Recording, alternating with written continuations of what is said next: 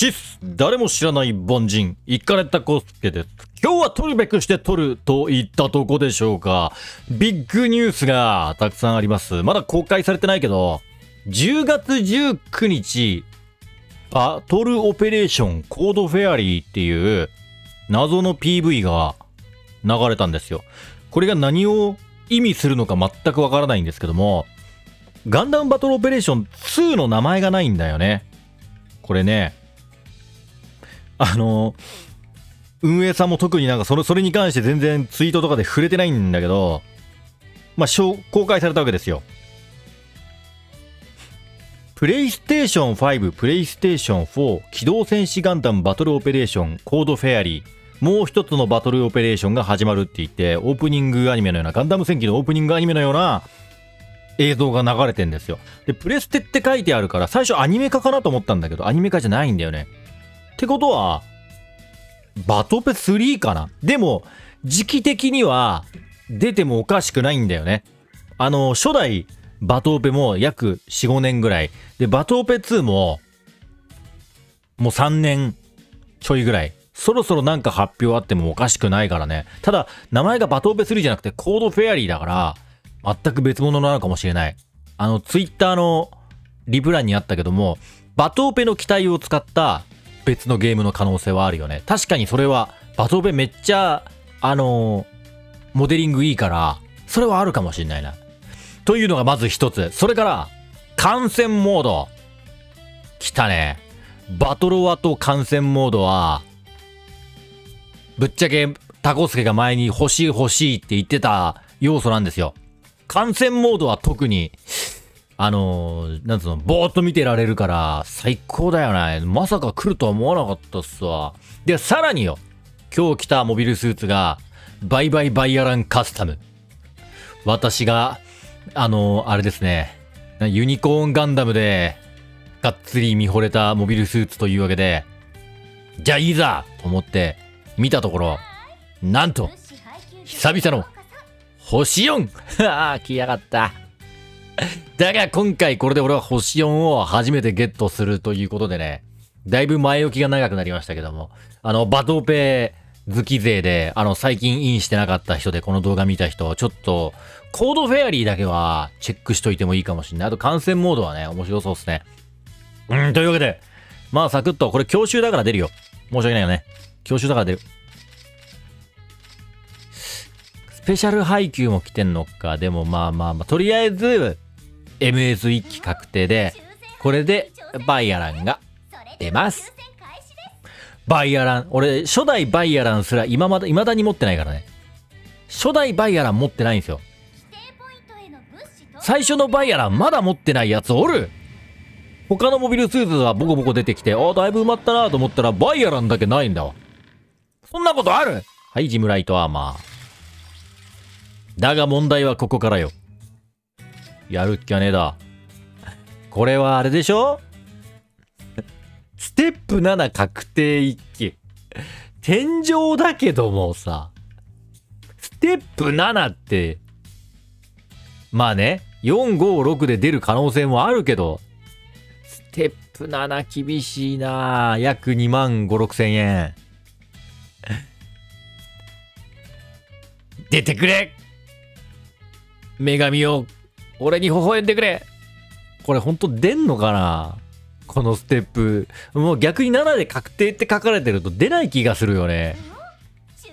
だが行こう。あトークンの数間違えてんな。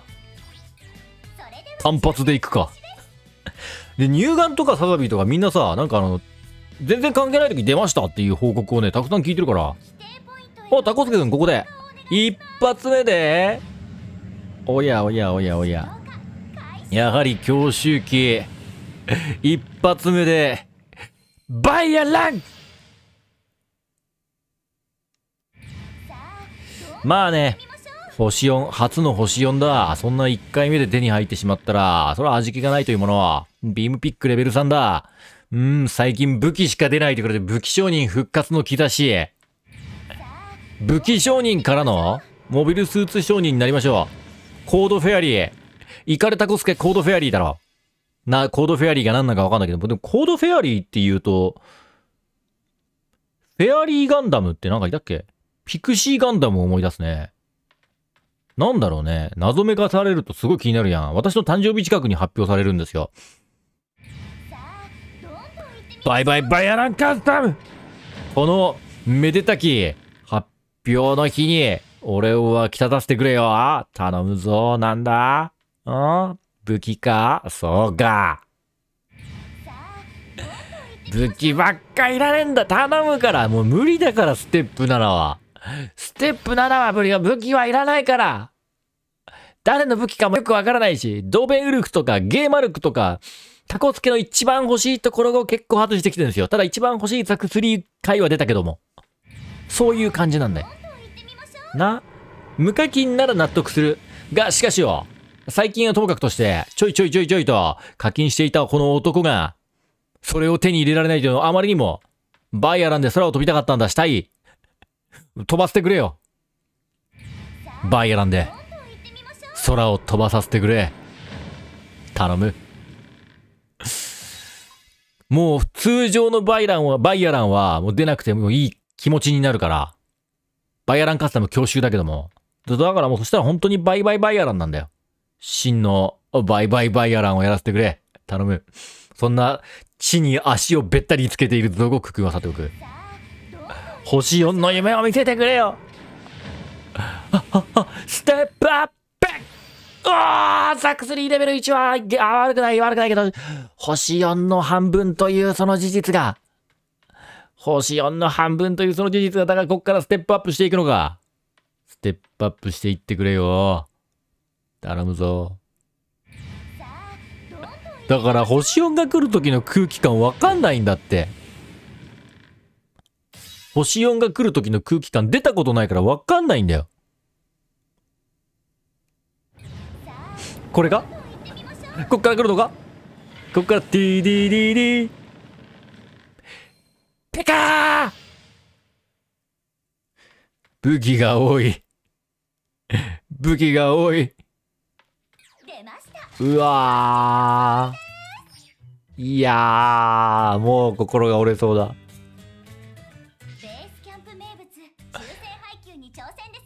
出るかな？出るものかな？出るんですかね？ありえますか？こっから。バイアランカスタム。いけ半端でも仕方がない。行くんだ。大丈夫。この音はクロミディアか？クロミディアなんてそんなもの幻想だ。で、赤箱から来るのかな星さんはワンチャン赤箱から期待期待ができたけども、赤箱からは来ないのかな？そうだね。うん。ファットアングルからだって来ることあるよね、きっと。関係ねえ。演出は関係ねえ。ああ、関係ねえどころじゃねえ。クエスキ用メガガトリングガン、クエスキ持ってねえし。頼む。クエス。クエスパラや。クエスパラや、頼む。俺に、バイアランカスタムの力を授けてくれ。で、ビームピック。とりあえず一回無心になろうか。やっぱ星4クラスになってくると、邪心を持っててはで取れないと思うんだよね。これやっぱあの、バトベのこと考えて、フェ、コードオブ、コードフェアリー、ここれ考えてよ。いやー、もうバイアランカスタムとかね、もそのコードフェアリーの方がもう情報として新しいビッグだからね。もう関係ない、そんなのはね。全然、全然、全然バイアランカスタム。全然バイアランカスタム全然、ダメなのか。無理だよ。70連天井なんて、遠すぎる。遠すぎるよ。それが注意。悲しいけどこれ、天井なのよねって武器がさ、リガズィも持ってないしさ、何よ。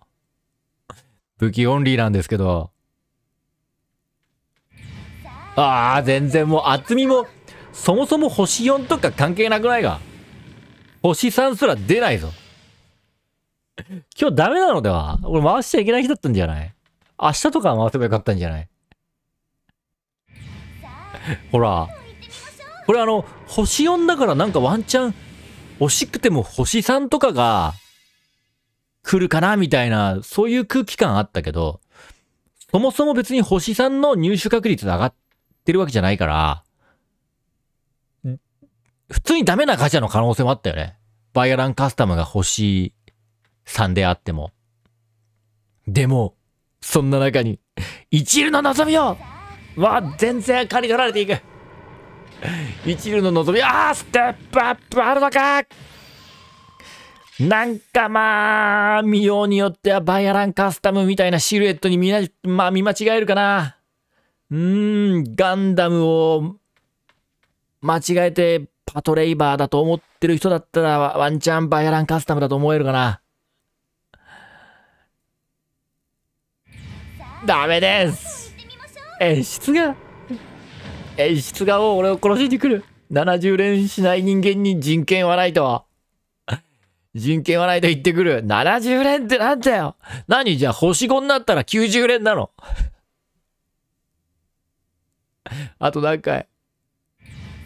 あ、何にも。何にも、何にもダメだな。画像無用ビームサーベル。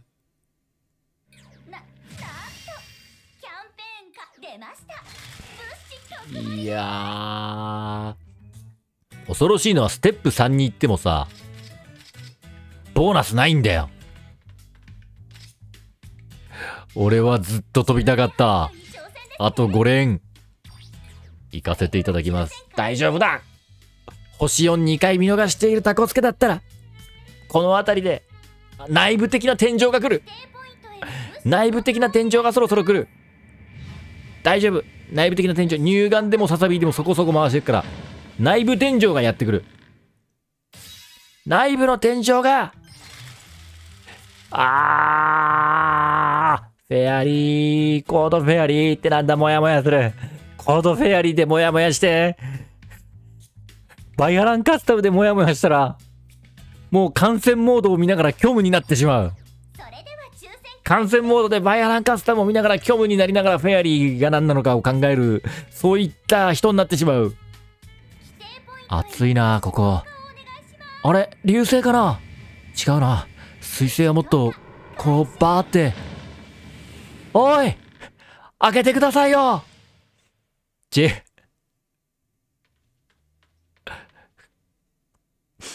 あがま、聞こえますか？タコスケは？タコスケは？それでは抽選開始ですダメだ。ダメだ。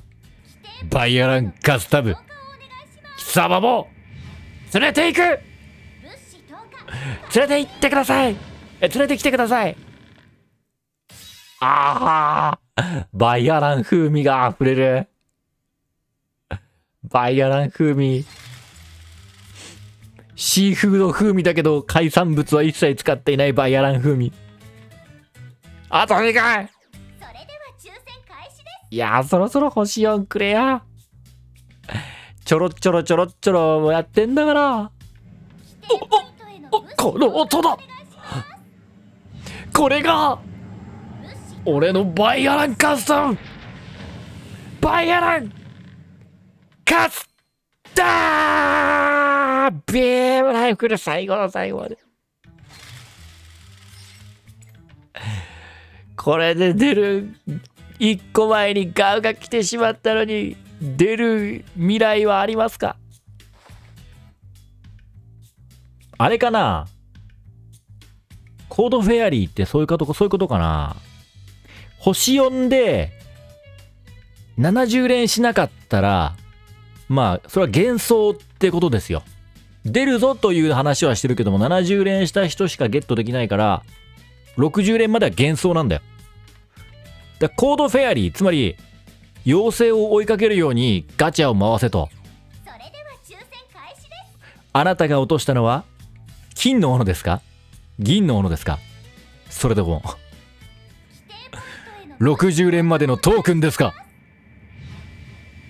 俺が落としたいのはミディアです。安西先生。ああネモで。